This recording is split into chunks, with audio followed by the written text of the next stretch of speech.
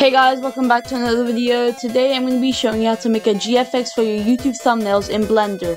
And I'm going to make this very beginner friendly so you guys can do this for yourself. So yeah, let's go. Alright, so you need to open Roblox Studio and go to Avatar at the top of your uh, screen. And then click Rig Builder and go R6 and My Avatar. Now we have this. Now you want to go to the side over here uh, you can enable this in view and properties. And over here we have the position. You got to make that zero, comma, three, comma, zero. And that will make it so it's over here. And now what you're going to do is you're going to click your avatar, right click in, in the Explorer. Once again, you can open it through here and right click, uh, your rig and and then you gotta go over here, export selection. And now you just gotta save it as some, as whatever you wanna call it, so you can remember it. Let's say I want to call mine avatar. Boom. Okay, we saved it. But now, what we need to do after that is we also need to save all the accessories doesn't matter what accessory it is, you gotta save every single one of them. So export selection, and then name it accessories.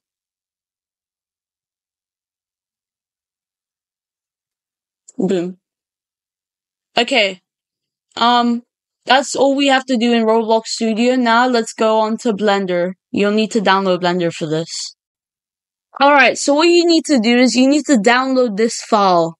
And then once you download it, you have to open it. So to open it, you go file, open, and then select what you want. In this case, you want the thing you downloaded. And then you can see this pink avatar. He's pretty ugly, isn't he? So what you need to do, you gotta click this and go to where you saved your avatar and you should have your texture for your avatar, like all your clothes and stuff.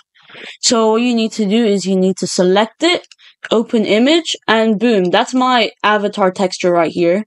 And you can see he's bald. You need accessories.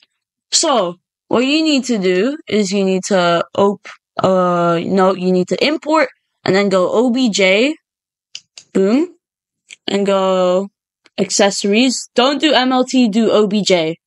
So go obj. And now my accessories are right over here. And, uh, you can see they're pretty high up, so just, just make it, put it in the right area. And yeah, that looks pretty good.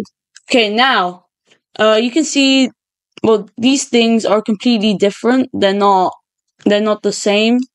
And if you want to pose your avatar, this is not going to be attached to it.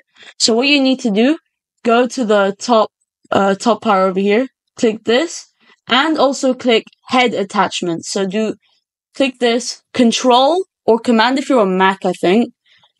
Do that. And now both of them are selected. Now control P. Wait, go control P. Wait, here, here, control P. And then set parent to object. You have to click that. And now they should be uh, attached. So to test this, what you're gonna do is you're gonna click on one of these boxes, go here and click pose mode. And let's move, let's rotate this. And you can see it's moving with that uh, accessory. So that means that it worked. And what you want to do now is you want to make a pose. So I'm just going to make a simple wave. So here, boom, go here, go up a bit, and then go here, and then and go here, go here, boom, and then move, move the legs a bit, boom, boom, boom, and this looks good. Okay, um, well, this looks kind of odd. Um, rotate it a bit. There we go. Now that looks good. Let's, oh wait, let's do this. Okay, it's a bit glitchy, but there you go. You got the pull wave. Now, what you're gonna do is you're gonna go to a site called Polyhaven. Let's go here. Polyhaven. Boom. Okay. So, you're gonna get an HDRI. So, click here, browse HDRIs. And now you have all these stuff.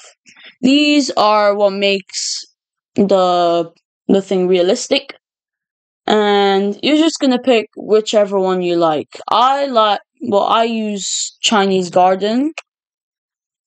So Chinese garden. Uh there. I I use this one. You can download it if you want it 4K, you can change it to 8K if you want. Doesn't really matter. And then once you get that, you're gonna go over here. Let's just make this a bit bigger. You're gonna go over here, click this, and then click color.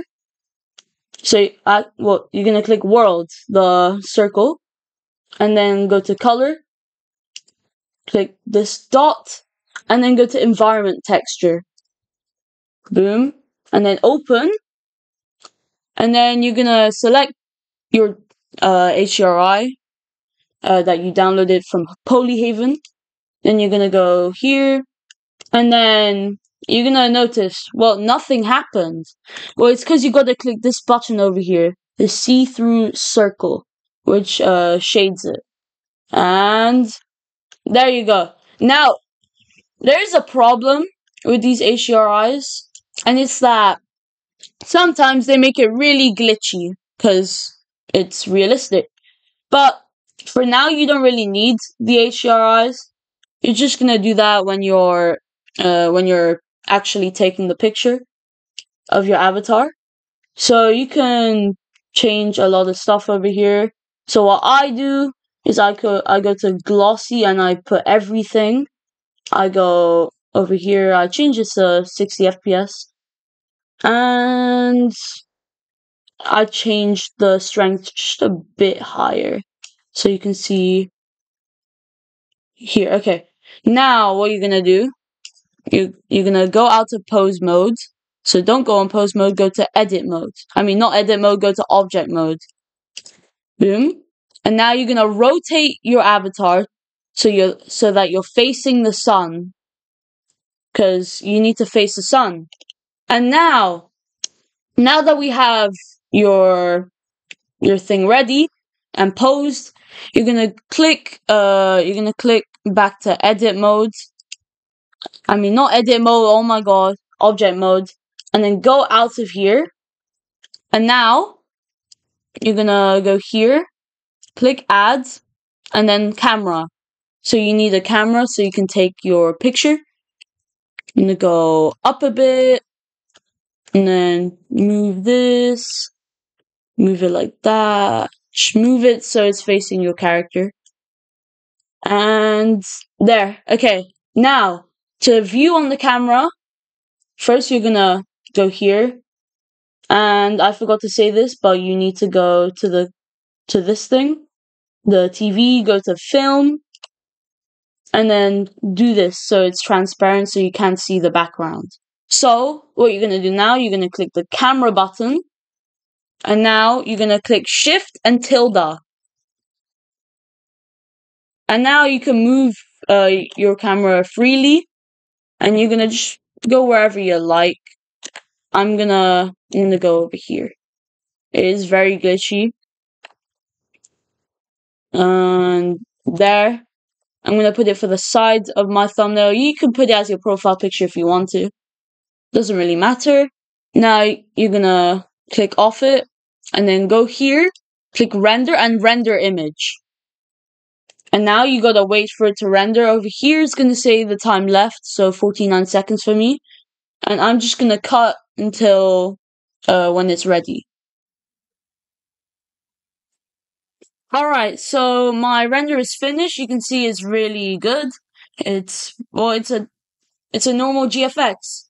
So now what you're gonna do, you're gonna go image, and then save as, and then you're gonna go wherever you want and save it as a PNG. Go, let's say GFX YT. I'm just gonna do that because I'm making a YouTube video, and then I'm just gonna go.